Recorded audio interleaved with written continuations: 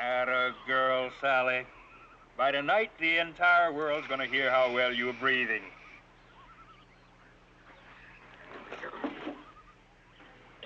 Hi, I'm Jack Hi. Dane.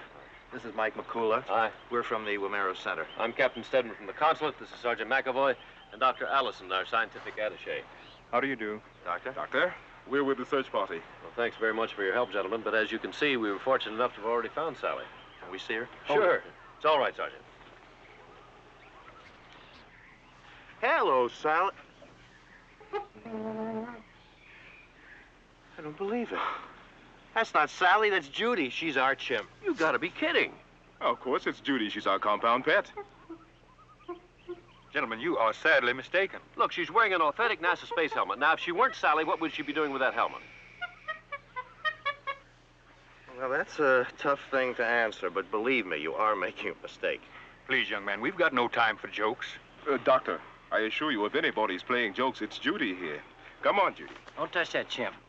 Look, fellows, this animal's the property of the United States government. Captain, you are wrong. Doctor, will you let us prove it to you? Okay? Convince us. Hey, Judy. Judy, it's Mike and Jack. She has a stubborn streak. Judy, don't you have something to say to us?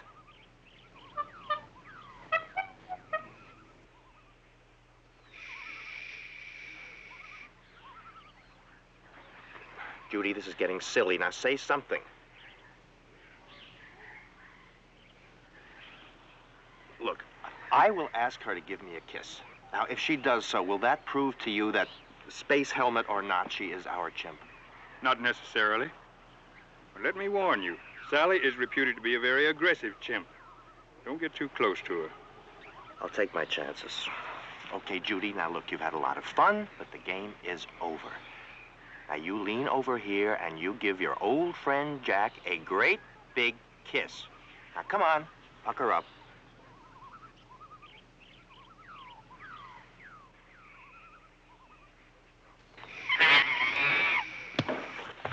Oh, Jack, you all right?